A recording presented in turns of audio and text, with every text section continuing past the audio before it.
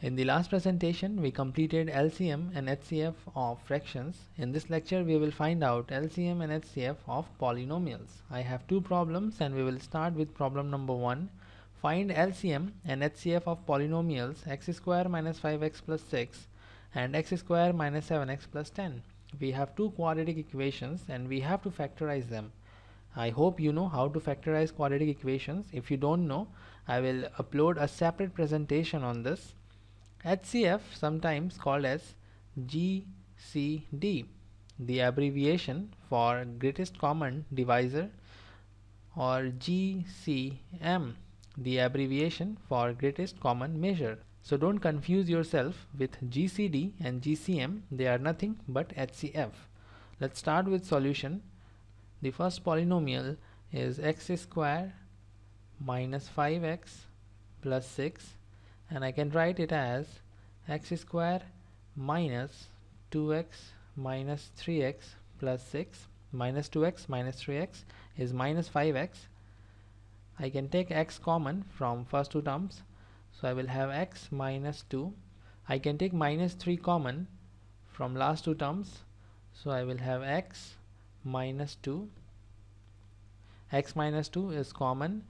So we have x minus 2 x minus 3 so this is what we have after factorizing this quadratic equation. Now we will move to second polynomial x square minus 7x plus 10 I can write it as x square minus 2x minus 5x plus 10 minus 2x minus 5x is minus 7x I can take x common.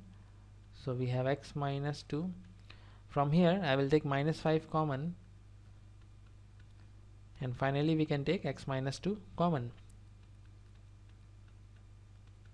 Okay so this is what we have after factorizing the second quadratic equation.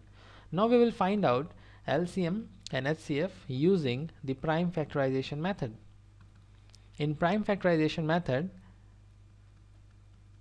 LCM is equal to product of factors with highest index so we have to first find out factors.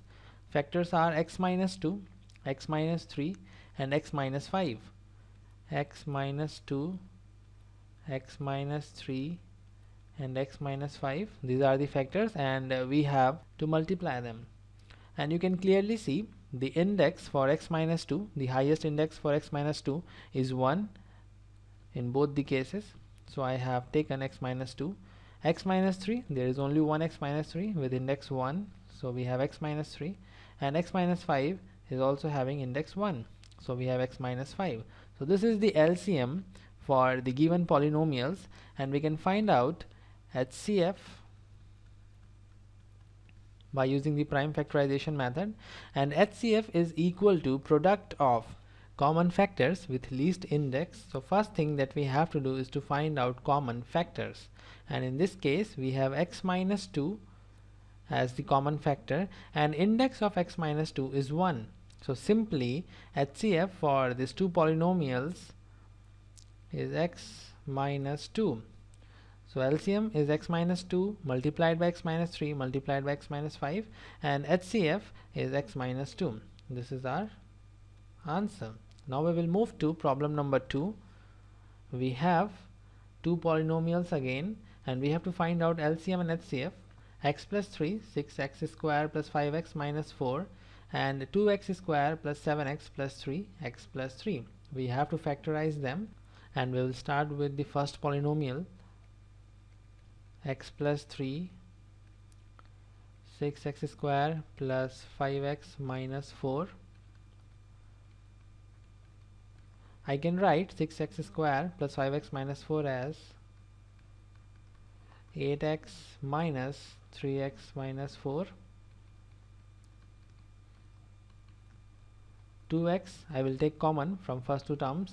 This will give me 3x plus 4 I will take minus 1 common from last two terms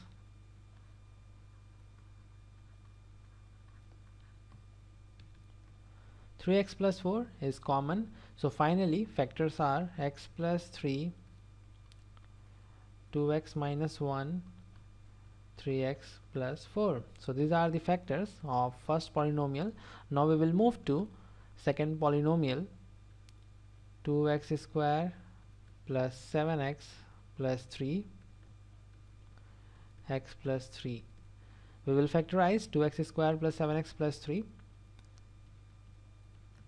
7x can be written as 6x plus x.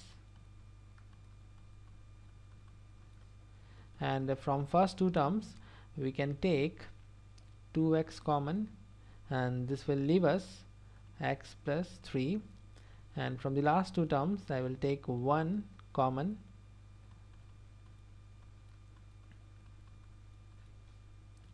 So finally we are having 2x plus 1 and x plus 3 x plus 3 or I can write 2x plus 1 x plus 3 raised to power 2 we have calculated the factors of given polynomials and now we will find LCM